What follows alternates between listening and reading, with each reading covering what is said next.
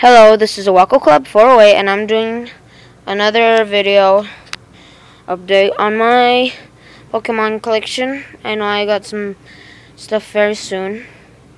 So I went to Deseret Industries or DI today and I got some stuff and before that I traded some stuff for some stuff I didn't have from my brother. Most of the stuff was cards, but I'm not going to show you because I don't want to take everything out. Yeah. Um...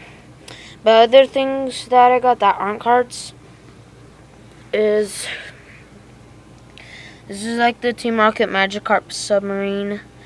It's really bad shape. It's missing a piece, like um, right there. It's missing one of the fins, and it's all scratched up. But I got it still.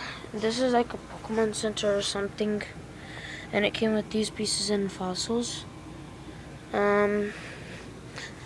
I also got from my brother, I got this coin. Um, and this fake Pokemon card.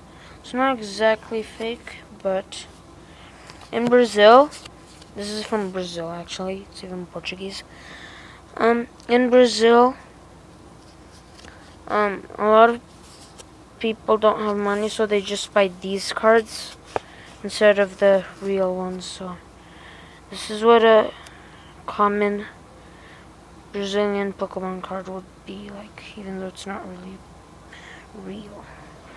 And the other things I got were that Turtwig and that Turtwig and this Cranidos which came in at the Pokemon Center or whatever it is. So yeah, I think that's all I got. Yeah. So thanks for watching. Bye.